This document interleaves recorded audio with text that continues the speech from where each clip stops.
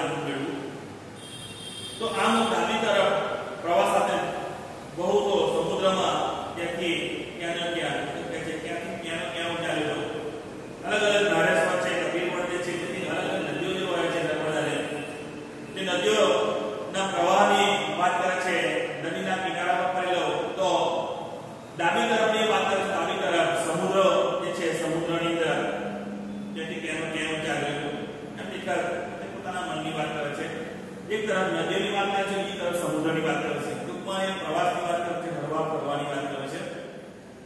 કબીરવડ સાથે કબીરની અનુભવી કબીરવડ સાથે પણ જીવનની વાતો જોડાયેલી છે. કબીર સંત કબીરની વાતો જોડાયેલી છે.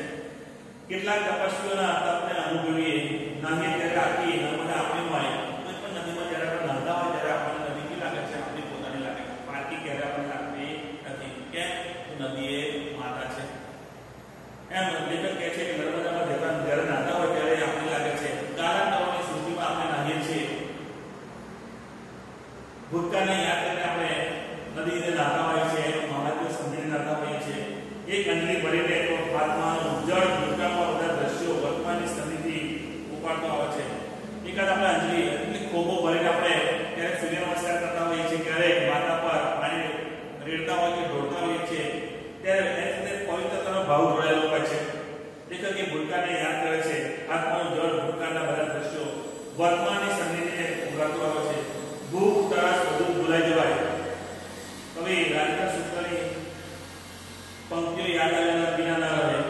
મુઠ્ઠી ચણા કે જાણી ધાણાનું મીઠું પાણી ઘેરગોળની ગટામાં આંખે પ્રવાહ જાણી નાના બાળકો હોય સામાન્ય વ્યક્તિ હોય છે, જેને વધારે પડતી ઈચ્છાઓ નથી, જેને જીવન જીવવું છે, એવા વ્યક્તિઓને નાની નાની વસ્તુઓ મળી જાય છે તેમાંથી આનંદ પ્રાપ્ત થતી હોય છે. અહીંયા રાજેન્દ્ર શુક્લની પંક્તિ આપણને ઘણું કહી રહ્યા છે. ચણા છે, પાણી છે, અને ધરાનું મીઠું પાણી. મીઠું જે મોટી ચણા છે, ધાણી છે, અને ધરાનું મીઠું પાણી. આ ત્રણ વસ્તુ કે ચણા છે, પાણી છે ધરાનું મીઠું પાણી. આટલું મળે છે તો બસ છે, અને સંતોષ.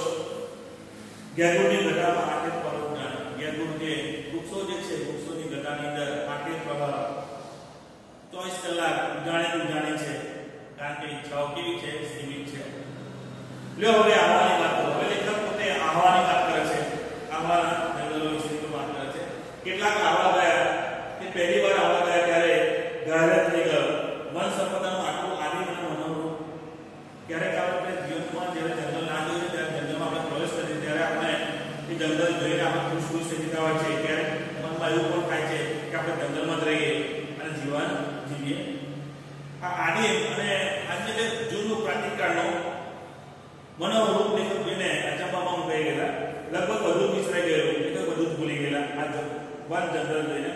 આહવાના મિત્રવર્ય જગદીશભાઈનું ઘર એકદમ સનસેટ પોઈન્ટની બાજુમાં છે. સનસેટ પોઈન્ટ છે બાજુમાં એમના મિત્રનું ઘર.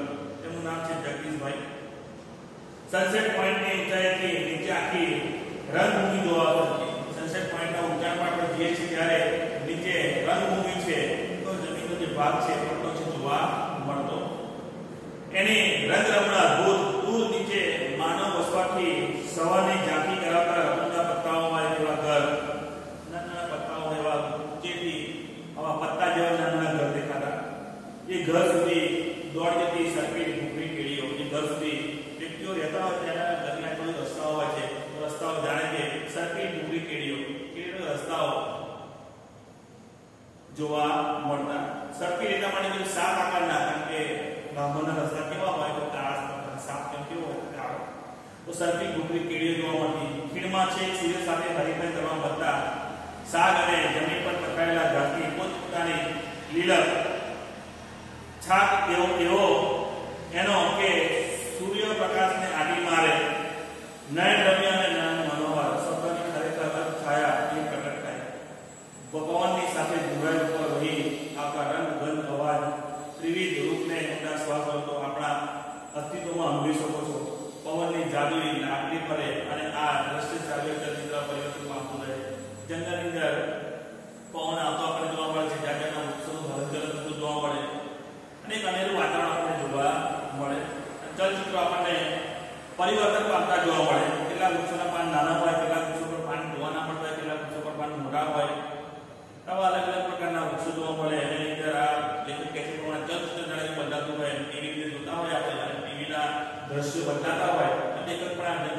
દ્રશ્યો જ હોય છે.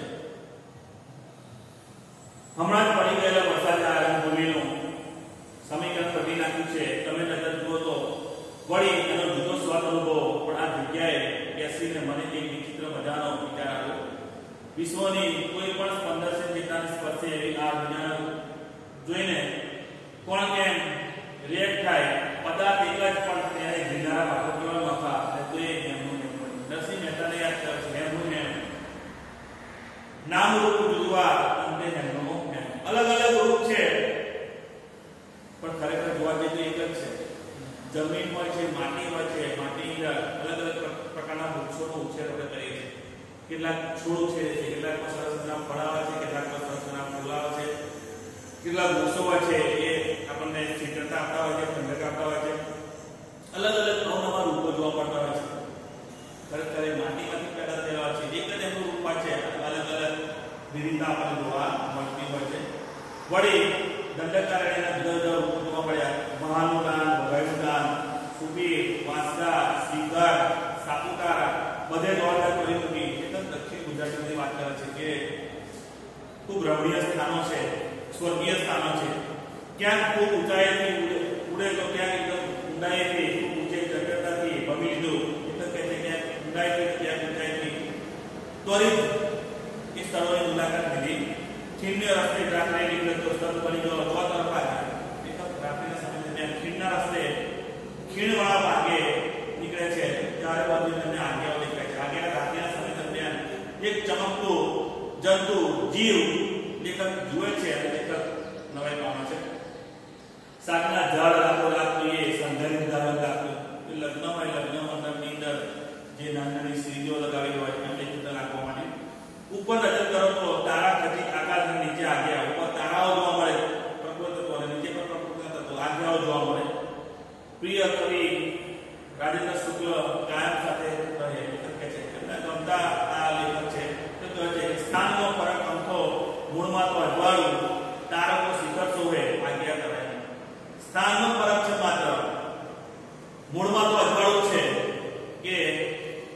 તારાઓ જે છે શિખરની ઉપર એટલે આકાશમાં ચમકી રહ્યા છે, જ્યારે આજ્ઞાઓ જે છે તારા એના ખીણમાં ચમકી રહ્યા છે. અહીં નહીં ઉડતા ઉડાવ કરતા આજ્ઞાઓ અહંકારને સંદર્ભને મોજે બનાવી આપે છે એક જાદુ કરી આપે છે નામનો જાદુ કેવો હોય તેની આ વાત કરું. અહીં ગિરનારનો ધોધ છે. ગિરમારનો ધોધની વાત કરે છે. લેખક અલગ અલગ જગ્યાએ ફરે છે. એમાં ગિરમાર નામનો ધોધ છે, ધોધની વાત કરે છે. ધોધ વર્તમાન સમયના લોકોને અત્યારની સમયના લોકોને પણ ખૂબ ગમતો છે. વરસાદની ઋતુમાં ખાસ કરીને ધોધ છલકાતો આપણે જોવા મળે છે. ઉનાળાની ઋતુમાં જો છલકાતો હોય લોકો તે નાહવા માટે પડાપડી કરતા જોવા મળે છે. એટલે ગિરમારનો ધોધ લગભગ 300 મીટર ઊંચેથી સુસવાટા આખું પાણી પૂરજોશમાં નીચે પડે છે. કેટલા મીટરથી 300 મીટર પાણી નીચે પડે છે પૂરજોશમાં વિખરાઈ જાય, નાના સરખા તળાવ સ્વરૂપે તો તરફ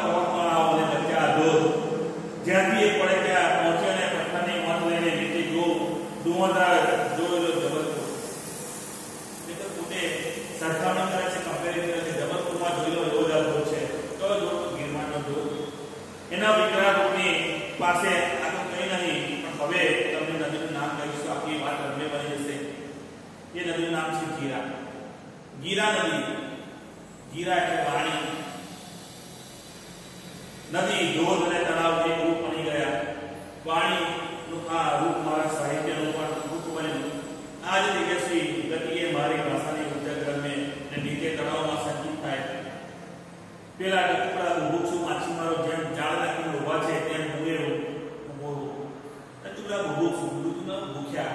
જાળ નાખીને માછીમારો માછલી પકડવા માટે ઊભા રહેલા હોય છે. અને એના દ્વારા માછલીઓ પોતાના હાથમાં આવે છે, તેનું વેચાણ કરીને પોતે આર્થિક રીતે સદ્ધર થઈ શકે છે. પોતે પોતાની જીવન જરૂરિયાતની વસ્તુઓ લાવી શકે છે.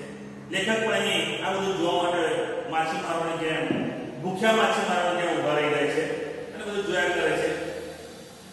પછી એ જળ પાછું બંધાઈ ન રહે ગીરા નદીના રૂપે વળી નવા કદનું સર કરે.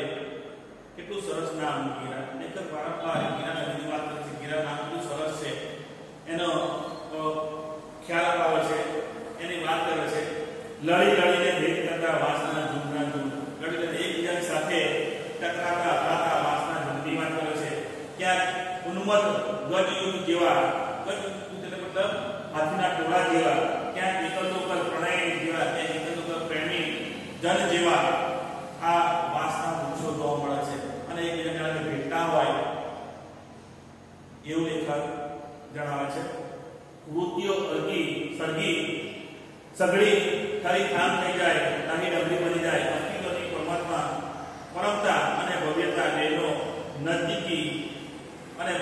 અનુભવ થાય. એમાં મારા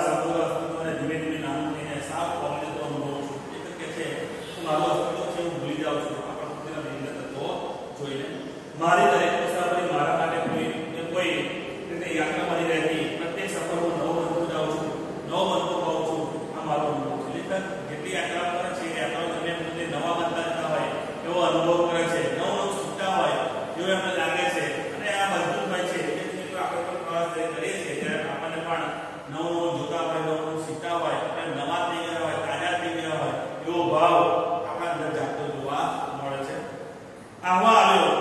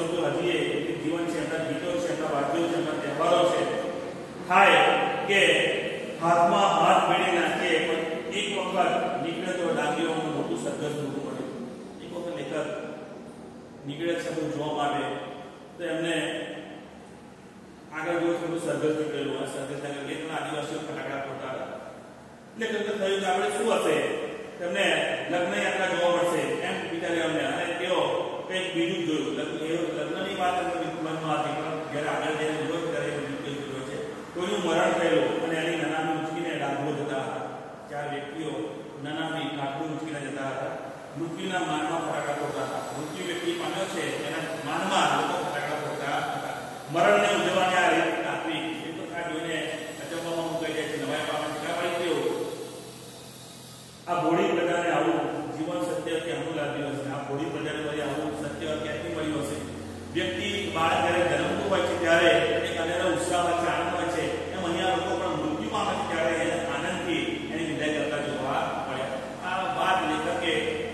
અન્યની વાત ગણાવી છે. આ વાત એ જીવન તો સાચું સત્ય કહી શકાય? લ્યો જુઓ વાત આખી મૂર્તિના સમ પર આવીને ઊભી રહી ગઈ. જેટલું ગમે એટલું લખ્યું. લેખક કે છે આપણે વધારે લખતો નથી. મૂર્તિના સમ પર વાત અટકી ગયા જેટલું ગમ્યું છે એટલું લખ્યું છે. એમને પણ વાત ગણાવે છે. ન ગમ્યું તેની વાત ફરી ક્યારેય કરીશ? જે નથી ગમ્યું એની વાત ફરી ક્યારે કરીશ? લેખક તે પોતાના મનની પણ જણાવે છે. મારી આ પત્ર કેસ્ટા ગમીને. એટલે કે મેં પત્ર લખ્યો, મારી ચેષ્ટા મારી રીત તમને ગમીને ઈચ્છા તો ત્યાં જ ઝરણામાં પગ તોડીને આ શબ્દ જણું વહેતું મૂકવાની હતી. એક કહેતા કહે છે કે ઈચ્છા તો ધરણાની તમે પગ મૂકીને આ શબ્દો છે, આ વર્ણન છે, ત્યાં બેઠા બેઠા તમને કહેવાની.